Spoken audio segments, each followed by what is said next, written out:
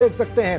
मेरे दाहिनी ओर आप देख सकते हैं कि कैसे उत्तर प्रदेश की जो 55 सीटें हैं, उसमें कौन से बड़े चेहरे आज मुकाबला कर रहे हैं और उनकी किस्मत ईवीएम में आज कैद होने वाली है, ये आप दाहिनी ओर देख सकते हैं। और मेरे बाईं ओर जो कॉलम है, इसमें आप देख सकते हैं कि उत्तराखंड में हाई प्रोफ़ाइल मुकाबला किसके बीच में चल रहा है, कौन से बड़े चेहरे हैं जिनके बीच में कांटे की टक्कर चल रही है।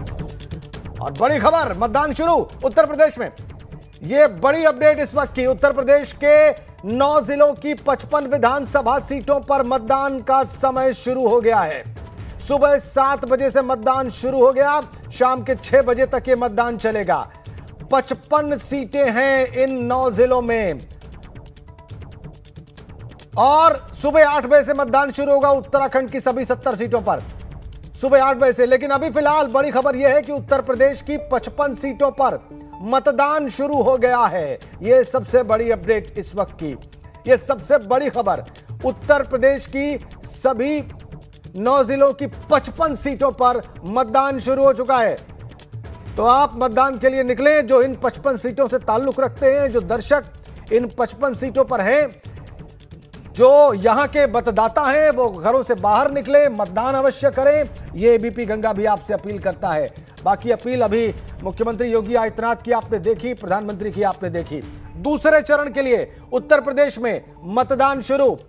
रुहेलखंड और पश्चिमी उत्तर प्रदेश के ज़िले ये, जहाँ पर आज मतदान हो रहा है। समय शुरू हो गया है मतदान का। और तमाम तस्वीरें आप एबीपी गंगा पर देखेंगे, जैसा कि हम लगातार आपको बता रहे हैं। और लगातार हमारे तमाम संवाददाता अलग अलग जिलों में अलग अलग विधानसभा क्षेत्रों में मौजूद हैं, जो आपको तमाम तस्वीरें और तमाम ज़रूरी जानकारियाँ उपलब्ध कराने वाले हैं। शाम तक लगातार एबीपी गंगा पर। मतदान शुरू। शाम के छह बजे तक चलेगा ये। कई धुरंधर हैं, पाँच मंत्री हैं योगी सरकार के। जिनकी किस्मत आज ईवीएम में कैद होने वाली है। यह सबसे बड़ी अपडेट एबीपी गंगा आपको इस वक्त दे रहा है। देखिए, दूसरे चरण का मतदान शुरू। सुबह सात बजे ठीक मतदान शुरू होने का समय।